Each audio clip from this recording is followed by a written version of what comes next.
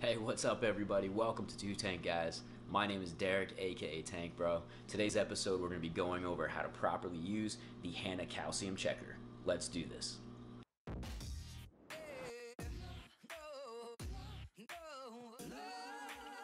Alright, so this is the Hanna Calcium Checker. Obviously comes in this nice package here. A lot of equipment. Don't worry, we're going to cover everything for you. Before we jump in how to use everything, you do need to have a sample of RO water on hand. Uh, you can get this from your local fish shop or you can simply brew some if you have a RO DI system like I do. I'm to go ahead and take everything out of the box so it's a little bit easier to use. Alright, so step one is to take one milliliter of your reagent, which is in this bottle here, and put that into your test tube. Now to do so, you're to use the syringe, which is this guy, and you're to put the tip, which is this guy, right on the end of it. It just slides on really snug, like so. And what we're to do is put this into the liquid and pull it until the black stopper is at the very end. What you're to see is that the tube is to remain completely empty and all of the liquid is going to be in the tip, which is what we're going for. So let's do that. There, perfect. And as you can see, all of the liquid is actually in the tip of this guy. And there's nothing in the actual tube itself. And then we go ahead and put that into our test tube. Now step two is to basically fill the rest of your test tube with RO water all the way up to the line. I have a sample here of RO water. I usually use this thing, I believe it's called a pipette.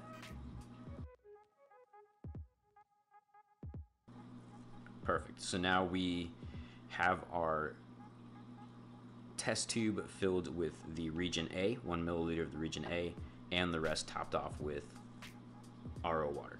Now what we're gonna do is cap it and invert it a few times. We want to get it kind of mixed in together. Now, what I've noticed with the Hanna checkers is that these tubes have to remain very, very clean, free of any sort of fingerprints on the outside, free of any debris on the inside.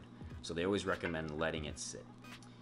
Now, once you fire up your Hanna checker, you're going to see something that says C1 add press, it says. So once it's fired up, that means it's ready for the test tube to be put in. Okay, and after we wait about 15 seconds, make sure we wipe this off with a microfiber cloth of some sort just to get any sort of fingerprints off. The reader needs it to be 100% free of debris to get an accurate reading. All right, once we waited a little bit of time, we can go ahead and open up your Hanna checker. Just pull that up. Obviously it's gonna be empty place your test tube in there. Again, make sure it's wiped off completely. Just like so, nothing special. Close it, press the button, and we simply wait. Once it says C2 add press, that means we're ready for the next step. So we're gonna go ahead and open this back up and take the sample of water out. The next step is to get a sample of your tank water. You're gonna be using this for that. All right, this thing looks a little weird.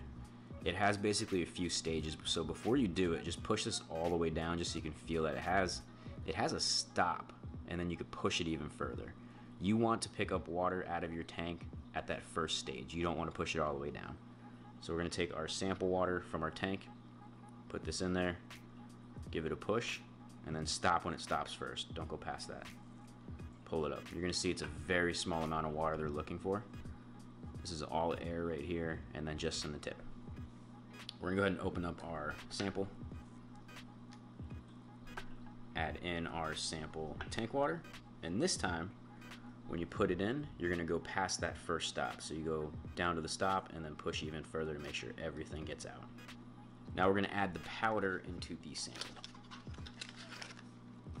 Powder comes in this little packet here. Now, what I found a cool way of doing this is uh, just follow the kind of the pattern, obviously, to cut it. And what you can do to make like a funnel for it is to kind of open it like this And then throw a little bend on the end. So maybe it can look something like that. Makes sense. Yeah, so you cut the edges and then make like a little a little funnel for yourself because it's hard to get the powder in there. Go ahead and pour the powder into the test tube. It is purple. You're to see it look kind of like that. Now it's very important that we cap this and shake it for 15 seconds. And then we're going to let it sit.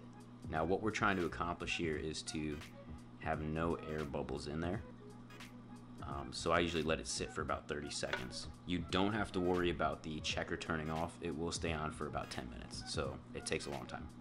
All right, and make sure once it sits that you give it some more wipes. You want it free of any sort of fingerprint residue or anything else that you might be left over from the cloth. Um, then you just drop her back into the slot. Go ahead and shut it. Press the button and just wait. My reading is extremely high right now. I had an accidental dosing of calcium that I put in there, so I'm waiting for that to kind of weed out. Uh, I will say that I'm a huge fan of all Hanna products. They seem very reliable, uh, easy to use. I know there's a few steps for the calcium um, checker. However, it's a little bit easier in my opinion than putting water in a test tube and dropping drops in there and shaking it. There's a lot that can go wrong with that, and it seems to be a little bit inaccurate for me, so I rely on Hanna products for uh, more accurate readings. Really hope that was very helpful for you guys. Don't forget to follow me on Instagram at Tankbruh. Also hit that subscribe button. If you have any questions, comments, or anything you want to see in up and coming episodes, feel free to leave them in the comment down below. Hope you guys found that super helpful. Don't forget to purchase your Hanna calcium checker. I'll leave a link down below in the comments for you guys to access that.